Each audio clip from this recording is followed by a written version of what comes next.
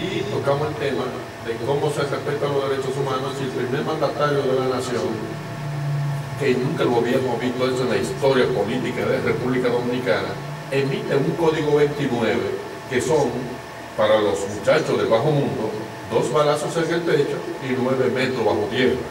El presidente de la República.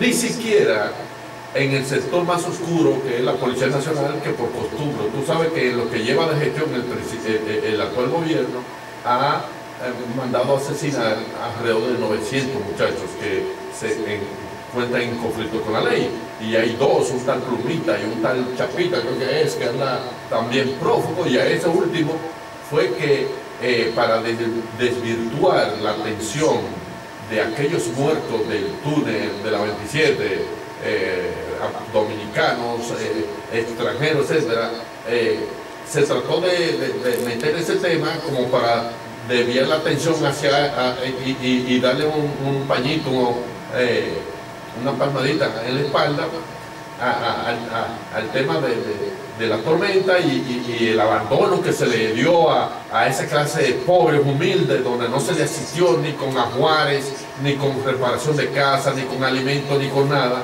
Entonces, ¿Tú crees que realmente ese es el papel de un primer mandatario de la nación, violar los derechos humanos, donde tú vas por la calle y tú ves los, los, gente de la DGC, grábame y te da tu golpe ahí como que dice que vivimos en una oligarquía, en una dictadura y no me importa que eso tenga un régimen de consecuencias? Eh, mira, eh, Alberto, verdaderamente, eh, primeramente permíteme felicitarte a ti en conmemoración del Día de los Derechos Humanos, porque tú ha sido un abanderado eh, siempre de la defensa de los derechos humanos. Nosotros somos testigos que desde hace bastantes años que tú has estado en pie de lucha en defensa de esa, de esa población vulnerable que se le, se le viola su derecho.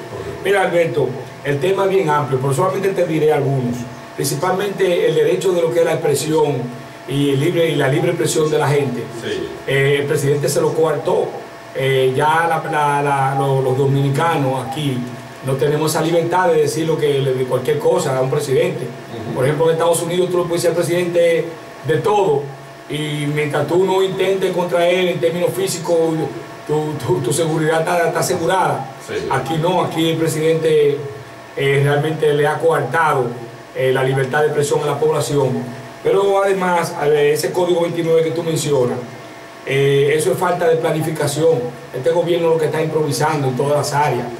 Y, dicho sea de paso, te digo que esa improvisación llega hasta tal nivel que, como tú dices, eh, mira, eh, no hay planificación para nada.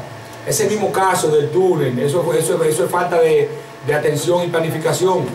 El caso de, los muchachos que andan buscando de allá de San Cristóbal, de, Cambita, eso, eso es para persuadir. Eh, y que la, que la población se entretenga con ese caramelo envenenado. Es un verdaderamente un caramelo envenenado porque mientras el presidente está haciendo un contrato, eh, de, un, recontrato de, anticipado antes del tiempo de, de, venderlo, de, casi de vender los aeropuertos, eh, los, aeropuertos porque eso es vender, eh, te, puede decir, eso es realmente improvisación y sobre todo malversación, porque los fondos que el presidente está adquiriendo eh, a través de esas negociaciones eh, malsanas eh, para el erario público, realmente eso también es una violación de derechos. Porque con ese dinero es para hacer realmente una revolución en lo que es el emprendedurismo, la oportunidad. ¿Tú me entiendes? Que esos jóvenes no tengan que estar haciendo esquina, sino que si usted asume una responsabilidad de gobierno y hace un contrato de esa magnitud, no es para politiquear, no, es para que se le dé el derecho por segmento a la población y una respuesta. Y, la consecuencia de eso, Alberto, ya está llegando, es hasta mayo que eso llega.